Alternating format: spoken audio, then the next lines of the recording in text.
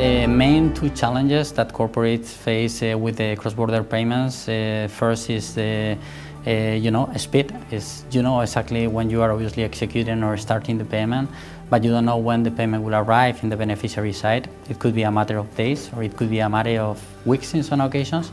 And then uh, another point to be highlighted and another, uh, another challenge that we are facing is a matter of cost because when there are different correspondent banks uh, as uh, in the middle of these transactions, uh, in some occasions the banks are basically deducting some funds and there is a difference between the amount that you are ordering or initiating and the amount received from the beneficiary side. If I have to highlight is speed and cost.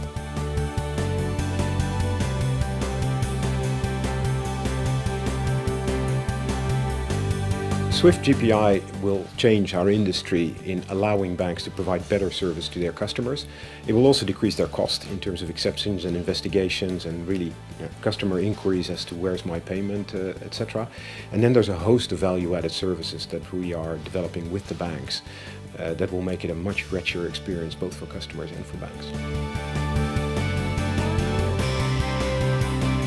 早在2015年。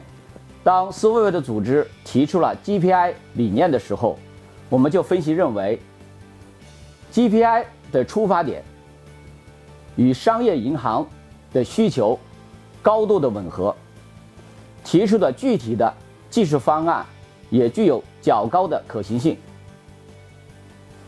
这有可能成为未来国际支付领域代理行合作的创新模式。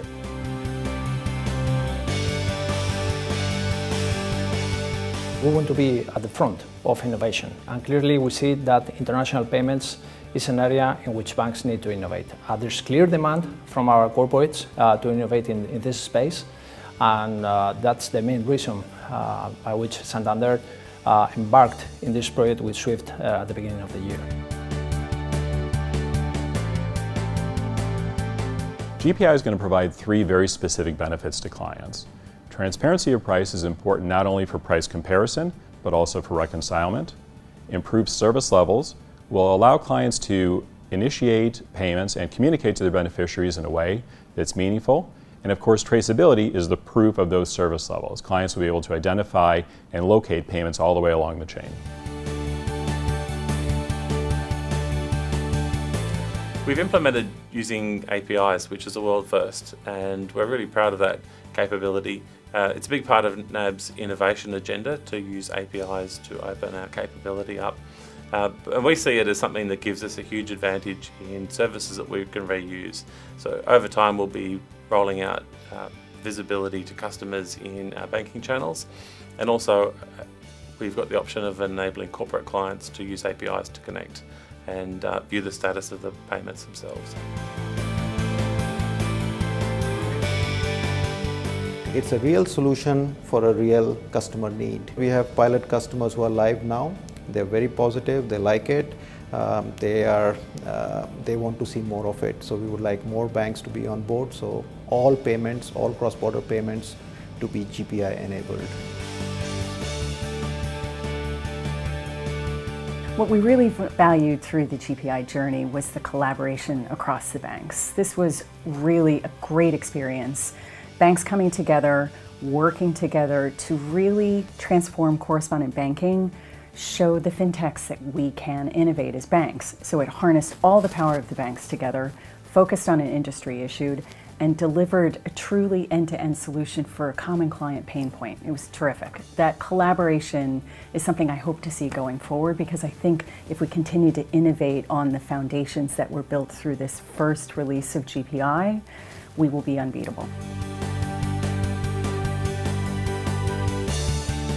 I think the openness of the platform, that approach that Swift has taken, instead of making a Swift inside house innovation to open platform innovation, that itself is a big difference. That difference allows even non-banks like fintechs to participate and improve the GPI platform. And that itself is going to be monumental in getting more people involved in changing tomorrow's payments. My request for all banks that have not yet joined GPI is please do so.